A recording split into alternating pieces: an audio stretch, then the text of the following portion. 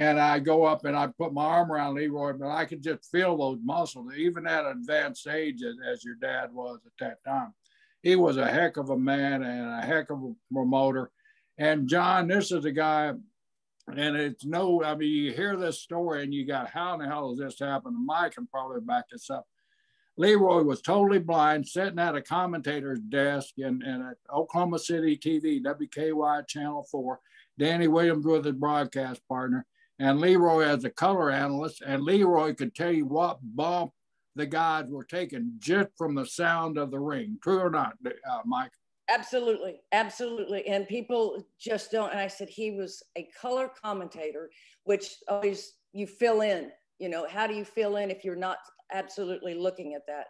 And he was. He knew. He he he he loved the business, and even to go on later, the love of the boys he was from that 19, uh, I guess 50 on, he was blind.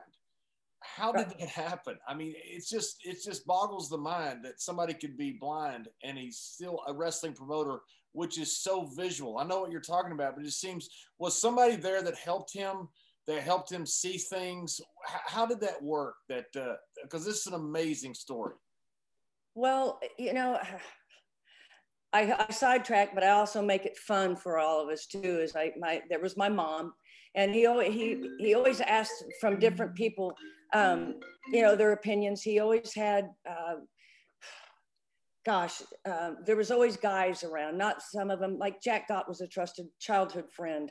Um, there was a um, another Leo Voss. Man, Leo, Leo Voss, I think was another one. You remember Leo Voss? Leo Voss. Leo Voss. I mean, we're right on the same track. And then Mike so, I mean, and Mickey Mickey Martin, who was a three-time national champion at OU, and then his uh, son went to OU and was a three-time national yeah, champion. also, those, those, were those were Leroy at my time. Those were Leroy's close associates, and actually uh, his eyeballs to talent because those guys would be asking you questions all the time, getting information that they could feed back to Leroy.